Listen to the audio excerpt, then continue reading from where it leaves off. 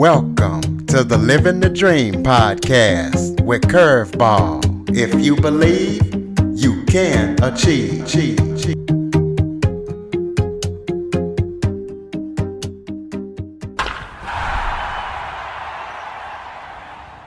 Hello and welcome to another episode of Living the Dream with Curveball. I'm your host, Curveball, and today I am joined by Linda Thompson. She is a former public health social worker for moms and single families. She is also a health and life coach. Linda, thank you for joining me today. And thank you for the opportunity. Glad to be here. Glad to be here. Absolutely. Why don't you start off by giving everybody a little bit of your background and, and telling us uh, just who you are and Okay, like you just said, I am Linda P. Thompson, and for 27 plus years, I was a public health social worker. I worked at a maternity clinic serving moms and families, single moms and family, helping them navigate through the, the challenges of life and promoting healthy pregnancies and healthy families. I also um, was involved with child um, child abuse and domestic violence I worked uh, real diligent in the community on different um, with different associations, and I'm proud to say that I um, was awarded upon my retirement in 2018 the Old North State Award, which is the governor's award. I mean, it's uh, award that you get from the governor's office for your years of service and volunteering in the community. So that is something that I'm really, really proud of. And I'm also an author of two books. Um, the first one is Jealousy or Envy Is There a Killer in You? Stop the War Within and Be Set Free. And the second book is Speak Positively and Expect a Victory Words of Wisdom. And both of these books deal with um, words, how powerful words are, and words can either destroy or words can build up. And I'm also working on a collaborative book of 40 women all over the world. I'm really proud about that. We all have a chapter um, that we're that we um, will have in the book, and that book will be out in February. So I'm really um, really proud of all of that. Well, tell us as much as you can about that notebook. How, how did you guys um, collaborate, and and who okay. brought up the idea of coming up with that book, and and what is it going to be about? Sounds interesting. Okay, the book is on um, re- re- resilience, um, not quitting, and a different chapter. Each chapter is on um, ladies are sharing a piece of them, um, how they overcame certain things, and giving tips on on different things. Because a lot of them are authors and coaches, and you know from all walks of life, walks of life, and we um, we collaborate through Zoom. We have meetings in regards to the book. The association that um, is publishing the book is the Women's Speaker Association. It's a wonderful um, global association, and they are the ones who are publishing the book. And so we are all we all have gotten together to put out get our message out. The chapter that I um, have in the book is on um, be positive and don't quit be positive, stay positive, and don't and don't quit. And I share a moment when um, dealing with COVID, being shut in. That was something that I'm not used to because I've been active in the community, going to the gym and doing all these things. So I had a moment where I was laying on the couch watching TV, and I'm like, oh boy, I'm beginning to miss my family. you know, I was having one of those moments, and I told a friend of mine I got to, hey, I got to go, you know, go out of state, visit my son and be his family, just to, you know, to get that boost because I'm a hugger. I love, you know, you know, family and all that. So I knew at that point I had to leave where I was, you know, kind of have a retreat. And um, so I did just that, and I went to visit my son and family. And while I was there, I started back working on some projects and things that I I was working on. So um, a lot of times we have to reboot, reset, you know, because COVID, this moment that we're living in now, it's it's different from all for all of us, and none of us were prepared because we didn't know this was going to happen. So the book is all about the collaborative book is all about us encouraging others and sharing a little piece of us, you know, in that book. Absolutely. And for those who don't know, tell us about the Women Speaker Association. What do they do and what's their goals? The Women Speaker um, Association is the goal of that is for women from all over the world to come together to mastermind and help each other on with their projects, their businesses, or whatever they're going doing. And there's a platform there where um, you know they let you come and share um, the projects or the things that you're working on as well. So it's a, a hands-on. You you know if you have questions about anything, you can reach out to some of the other ladies because they've either they're doing what you've done or they've been through the struggles or whatever. So it's a close knit. I, I can truly say it's, it's really like a family of women together, and we can come together all over the world, no matter where we are. And we do a lot of that through um, through Zoom. That is, it's a it's a great organization. I just I just love it. I've been a part for um, going on three years now with the um, Women Speakers Association. Absolutely. So, what got you started in everything that you're doing now the social work, the life coach stuff, and, and being an author? Okay, what got me started? Um, it was because of where I came from. My parents, my my father, he was a minister, and my mother was supportive of. You know, they both was Christian, and I saw them as a little girl helping people. You know, giving food, clothes, and um, just doing things to empower people. So at a young age, I knew one day I wanted to be a social worker because of the ministry that I saw that they did and the rewards that you know that it brought to other people's lives and the way that people's lives was changed. So um, and so I, I went to college. I graduated with a degree in sociology and psychology, another degree, you know, which helped deal with people and let you understand people. And from that, I um, had different jobs. I worked in the prison with the male population, and that was interesting, and I learned a lot from that. And I also worked with the um, the population of um, the women in the halfway houses, and we helped them, um, you know, um, transition back into society. And that was a rewarding job as well because those ladies they they um, worked they went to school and you know we did different things with them to help them transition and then later on i um, the last job that i had was the public health social worker working in the maternity clinic serving those moms. And um, those the clients that we had you know they everybody wants the curtis everybody wants the same thing. And that's you know to be successful and and to have a good way uh, you know to live well and do all these things but some people needs a need a little bit more um, someone to help them navigate through you know through life and so um, and help with challenges that they had so that was a, a rewarding position as well and some of our clients went to school to be social workers nurses some ended up having their own businesses and things like that. So um, that was a that was in the helping field. So when I decided that was time for me because of my two books, I couldn't really promote my books and things while I was working.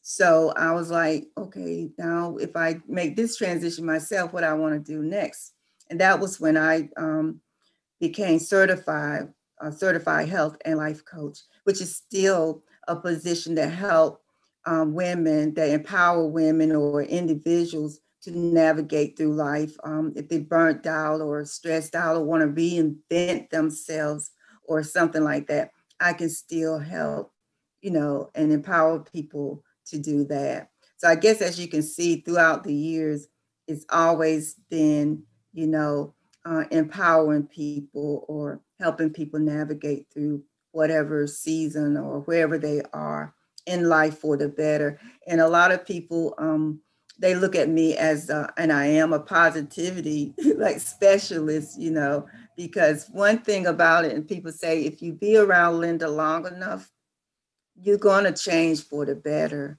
because that's just the way it is. And um, I always tell people it's it's about a choice. We always have to make choices, and it's up to you which path you want to go. But the doors of opportunities are open for everyone. So um, that's how I got to where I am, and and I com- I plan to continue. And I do a lot of speaking now virtually, and my messages are on resilience and and don't quit, and um, to stay positive because a lot of people are hurting, especially now with uh, COVID and the shut the pandemic i'll say because there's a whole covid is just one thing but there's a whole lot of other things going on in different areas in the world. And people need someone you know that, that they can talk to need uh, some something that they can hold on to need a word of hope or word of positivity. And because with um, the way things are now domestic violence is on is on the rise I wrote an article um, in October about domestic violence, what it is and and uh, what it's not, and, and, those kind of things. So it's it's um, I feel I was put on this planet, you know, to help people life change, and I'm I'm doing that, and I'm very very proud of that. And that's what this podcast is all about to motivate and inspire others. And speaking about the topics that you were talking about that you speak on, why are those topics so why are you so passionate about those topics? Well with my own life experiences and um, with all the positions that i've um, i've worked in i've i see i, I see that people um, we go through so many things and we negativity doesn't do anything to help us so we have to pull down deep, even when, and I, I know how it feels when someone um, betrays you or someone says mean things about you and they really don't know you. I guess I would say judge you without even getting to know you. Um, and I know that um, bullying is real, you know, and you don't have to be a kid to be bullied. Adults bully as well, you know, on the job and different places. So, and um, I, you know, I've dealt, like I said, I've dealt with domestic violence and and I know how words hurt and things like that. And it's just um, a passion. And the reason I wrote my book, Curtis, is because um, the first one was jealousy or envy is their killer in you. Stop the war within and be set free. It's talking about emotions of people co- um, competing with one another, um, you know, hating on someone just because they got the house, the car, the job, or or it looks like they have a wonderful family and you don't, and you know, you compare and and you do things, say things to um, tear down someone's reputation.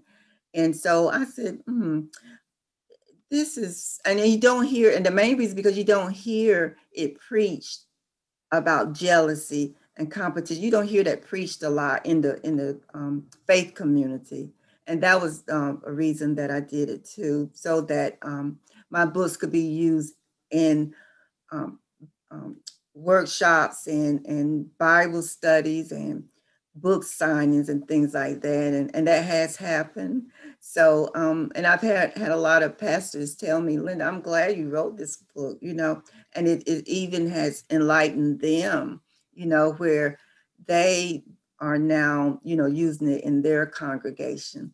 And that was one of my main goals that the faith community would, um, you know, would embrace it.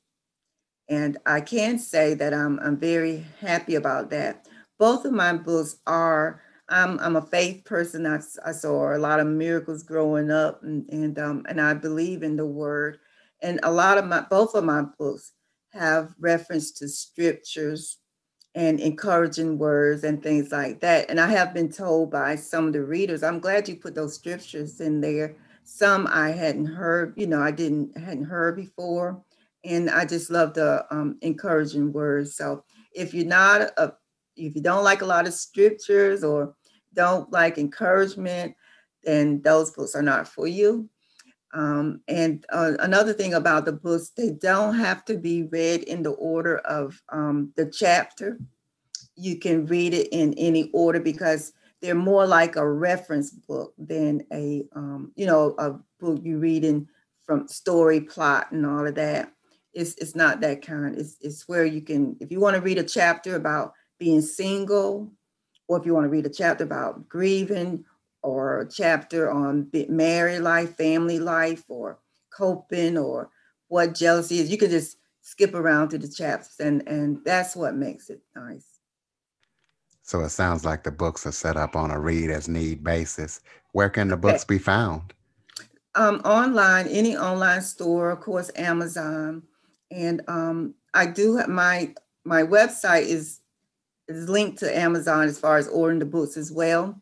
And my website is www.lindaspeaker.com. And if you click on the books there, it'll take you straight to Amazon, or you can go straight to Amazon or any of the online uh, bookstores. Yes. How can people connect with you on social media or any other kind of platform other yes, than your I, website? Yes, I am on Facebook. And I also um, would like to say for during this time, if someone is lonely or need some extra encouragement, I do have a Facebook group called Life Transformation by Speaking Positively.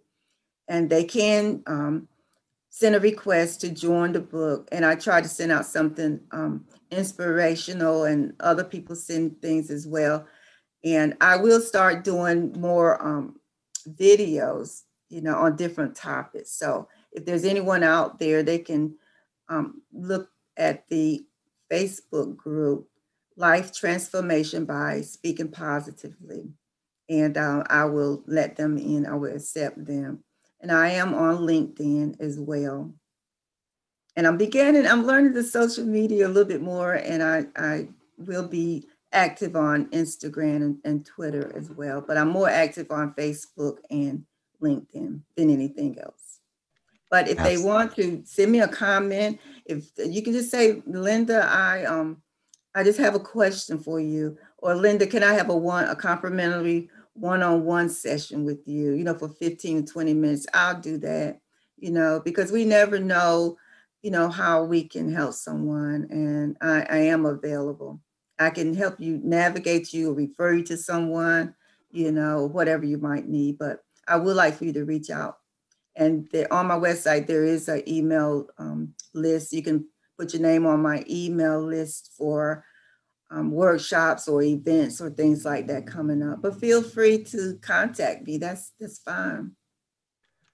Well, other than your book, do you have any speaking engagement or any upcoming projects in the future?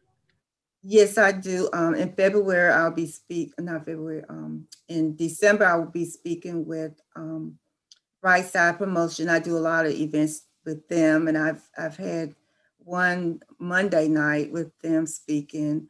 And um, each month I, I'm speaking somewhere on Zoom. And next week I have, I think, another podcast to do, and one tomorrow, I do believe. Yes, and I've done a, a couple of this month, so I'm staying pretty busy. Um, you know, getting the word out, the message out about my books. Absolutely. Is there any other topics that we haven't discussed that you would like to touch on? Well, um, just hope um, I would like to say to the audience, don't give up. This, um, I hear a lot of people say, Curtis said, this is the new norm. and I said, no, not for me. I don't believe this is the new norm. I will say this is the now. We living in the now, but I do believe that things are going to get better. And I will say to people, reach out. We have to, I'm old school. If you have to reach out to somebody by you know, picking up the phone instead of just texting or um, video chat with someone or send them a card. Do something to keep yourself motivated. You know, get in your car and drive up the street a couple of blocks or drive to the next town. Do something. Don't be sad. Don't be lonely by yourself. Reach out, reach out, reach out, reach out. Absolutely. Ladies and gentlemen, Linda Thompson. Linda, thank you so much for joining me today. Thank you. It has been my pleasure, and hopefully, I'll get a chance to see you again. Thank you. For more information on the Living the Dream podcast, visit www.djcurveball.com. Until next time, stay focused on living the dream.